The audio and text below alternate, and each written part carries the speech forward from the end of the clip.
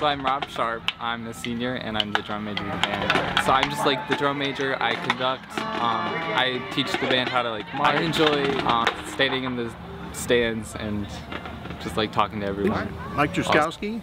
high school director bands, co-director of the marching band. Well, we start with some sectionals in the summer, then we have band camp, and late July, always a week before the Coast Guard Festival. The school year, once school gets rolling, we make a lot of progress, and we're going late into the season this year, all the way till November 4th at state championship. So we're just um, pushing into that. Okay. My name is Mark Gravengood, and I direct the Friday nights band. are a lot of fun. First of all, we're there to support the football team and pump up the crowd and get the team ready to go. As, you're, as an audience member watching the band, you're seeing like the show in progress. Um, so every week you're gonna see a little bit more added, more drill, more music, more props.